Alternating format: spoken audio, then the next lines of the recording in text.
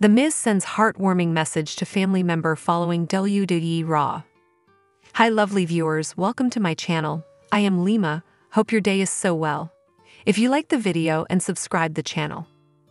The Miz has sent a heartfelt message to his family following this week's edition of WWE Raw. The A-lister has reunited with R-Truth to form the Awesome Truth tag team on the Red brand. Awesome Truth defeated Indus Sher last night to qualify for the six-pack challenge at WWE WrestleMania XL. The Judgment Day's Finn Balor and Damian Priest will be defending the undisputed tag team championships against five other teams at the biggest show of the year next month.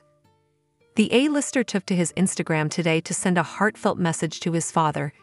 He wished his dad a happy birthday and included a few photos of the legend, as seen in his post below.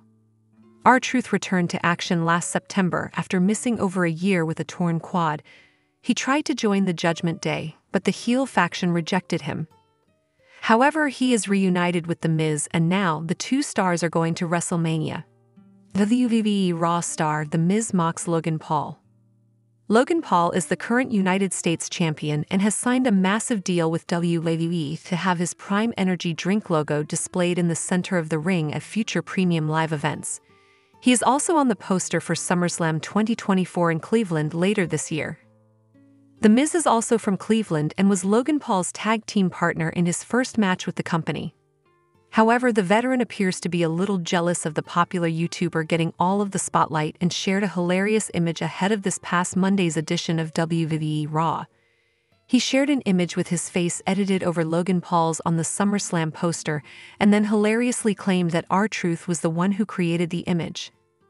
Don't worry, Ron Killings one fixed the SummerSlam poster. Cleveland, he wrote. The Miz has spent the majority of his career as a heel, but it is now a fan favorite alongside R-Truth in the Awesome Truth tag team. It will be interesting to see if the unlikely duo can defeat the Judgment Day to become champions at WrestleMania XL.